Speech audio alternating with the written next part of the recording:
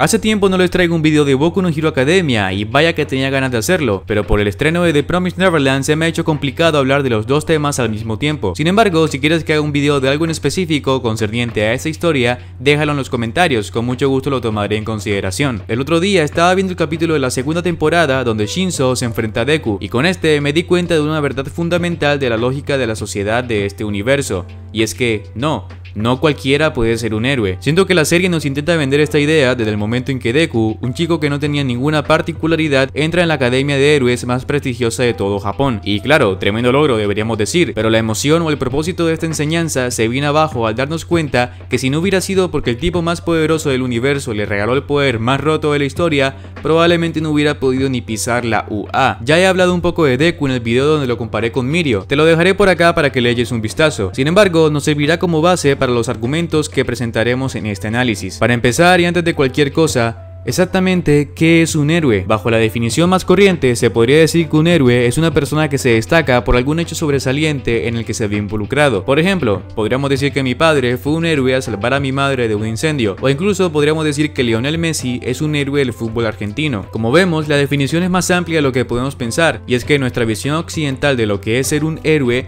va ligado directamente a las adaptaciones que hemos visto en medios de entretenimiento como cómics, series y más recientemente películas como las de Marvel o DC. Nuestra definición de este concepto se puede ver condicionada gracias a un entretenimiento que consumimos. Por eso, siempre tenemos en mente que un héroe es aquel que hace algo superheroico para salvar a los demás. Ahora bien, Exactamente, ¿qué es un héroe para Boku no Hero Academia? En este universo se podría decir que un héroe es aquella persona aprobada por el gobierno que mantiene el orden público a luchar contra los villanos o, en su defecto, salvar a las personas. Sin embargo, podemos irnos más allá de eso. Una diferencia clave de los superhéroes de este universo y quizás otros como Marvel o DC es que en My Hero Academia el convertirse en un héroe es visto literalmente como una profesión. Podrías estudiar diseño gráfico, contaduría pública, ingeniería civil o directamente entrar en una escuela de héroes. Esto es algo muy importante a considerar, ya que muy contrario a lo que podemos pensar, no todos estudian esta carrera por sus valores y principios, o para ser alguien que salve a la gente. Hay muchos que lo hacen porque les trae fama o dinero, al igual que en el mundo real que hay personas que estudian algo que quizás no les apasiona, pero puede traerles mucho beneficio económico. Esto no está del todo mal, y más adelante les explicaré por qué, pero mientras tanto quiero que vayan pensando en una pregunta. ¿Quién debería convertirse en un héroe?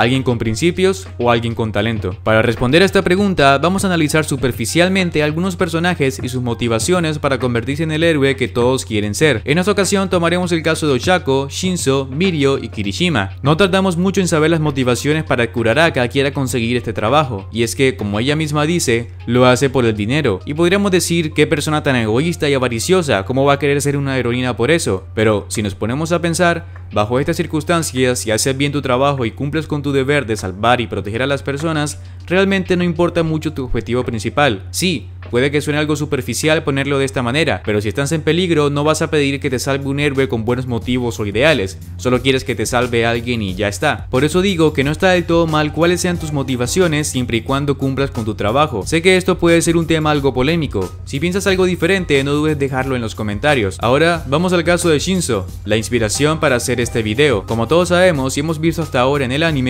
este personaje no tiene un poder rotísimo o una actitud alegre todo el tiempo, pero sí tiene algo más, ideales.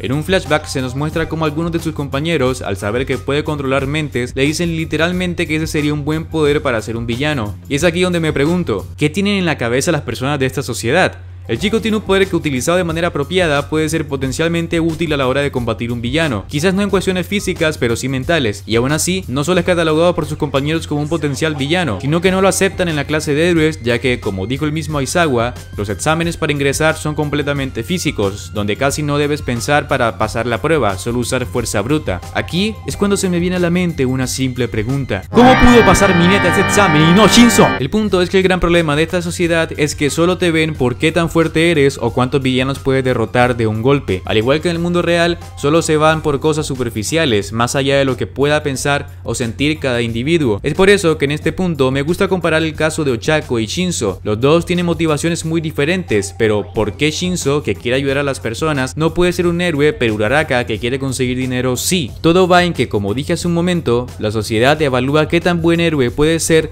por cómo eres, más no por quién eres. Basta con hacer con una habilidad muy poderosa para llegar a tener esta profesión tan deseada por algunos que saben que solo porque no nacieron con este don especial nunca podrán llegar a hacerlo. Una vez más, este era exactamente el mismo caso de Deku. Claro, ahora todos lo quieren y va en camino a ser el héroe número uno, pero si All Might no lo habría regalado el One for All, seguiría siendo un perdedor al que nadie le presta atención. Algo triste, pero cierto. Es aquí cuando repito una vez más, no cualquiera puede ser un héroe, solo puedes aspirar a serlo si tienes suerte en hacer con algo que literalmente no puedes controlar no va en ti. Sin embargo, no todo es color de rosas para gente que nace con habilidades potencialmente poderosas. Es aquí cuando entra el que para mí es el mejor personaje de esta obra, Mirio. También podemos compararlo con otro que empezó siendo un personaje secundario más y se terminó robando el corazón de muchos al saber su historia de origen, el mismísimo Kirishima. Estos dos casos son muy parecidos entre sí en algunos aspectos y aunque te recomiendo ir a ver el video en el que profundizamos un poco más de Mirio, tocaré algunos puntos con respecto a él y Kirishima. Lo que tienen en común es que ninguno de estos dos personajes en un principio podían controlar sus habilidades al 100%. A simple vista, ninguno servía para ser un héroe, a pesar de tener una particularidad. Sin embargo, fue el trabajo y sacrificio los que lo llevó a la cima. Es importante tener en cuenta esto, ya que nos demuestra que aunque el mundo tiene cierto tipo de preferencias hacia las personas con poderes un poco más físicos, si no te esfuerzas por mejorar,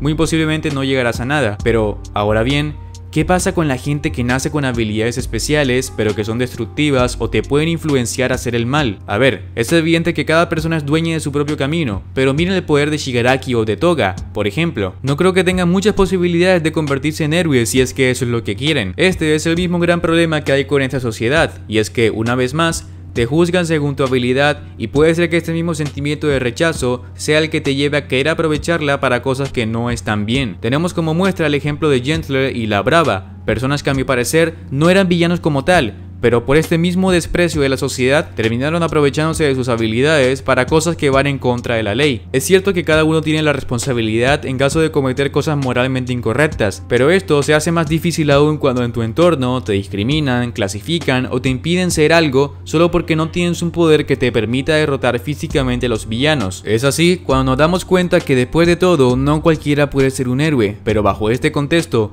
cualquiera podría ser un villano. Este es el que para mí es uno de los temas a los que se le puede sacar mayor provecho en esta obra, jugar con la moralidad y lo que es correcto o no para cada persona según sus habilidades, para de esta forma demostrar cómo una persona con talento vale más que alguien con ideales en el universo de esta historia. Muy bien, esa fue mi opinión al respecto, no dudes dejar la tuya en los comentarios, siempre los leo todos. Un saludo para Isabel Benítez y para Water Sherry, espero hayas disfrutado de este video, si te gustó no olvides darle like, suscribirte si aún no lo has hecho y pasarme un screenshot mostrando que apoyas al canal a mi cuenta de Instagram, así podré entregarte un pequeño premio. En serio, puedes hacerlo. También pueden escribirme cualquier cosa por ahí, ya sea un comentario, sugerencia o lo que sea. Soy todo oídos o en este caso ojos para leerlos. Sin nada más que decir, nos vemos en otra ocasión.